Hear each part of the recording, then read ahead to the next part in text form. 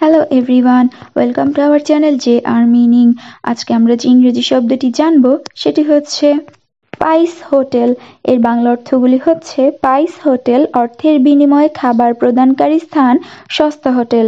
নিচের দুইটি উদাহরণ দেওয়া হলো।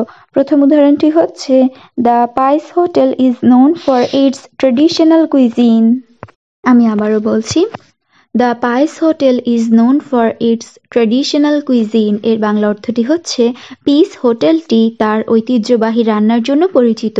দ্বিতীয় উদাহরণটি হচ্ছে we stayed at a peace hotel during our trip to the countryside আমি আবারও বলছি we stayed at a pice hotel during our trip to the countryside এর বাংলা অর্থটি হচ্ছে, আমরা গ্রামাঞ্চলে ভ্রমণের সময় একটি পিস হোটেলে অবস্থান করেছিলাম। ধন্যবাদ।